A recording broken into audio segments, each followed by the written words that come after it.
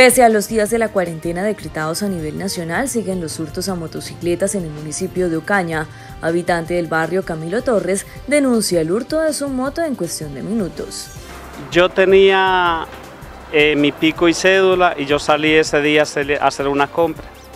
Llegué acá al apartamento, eh, mi esposa me dijo, venga para, para que lleve más dinero, para que me traiga un, un jarabe para la tos. Mientras que yo subí a buscar el dinero, ya las motos la habían llevado. Eh, una GN 125 modelo 2008 color negra. Asegura que en un primer momento no pudo interponer la denuncia. Yo fui a las Dijín, no me quisieron recibir la denuncia, fui a la policía y me la recibieron. Las Dijín vino hasta acá y verificaron y fueron, dijeron que iban a verificar la cámara, pero hasta el momento no, no he sabido nada a ver si me pueden recuperar la moto. Para este ciudadano es su motocicleta su único medio de transporte, al igual que el medio con el que tenía el sustento diario.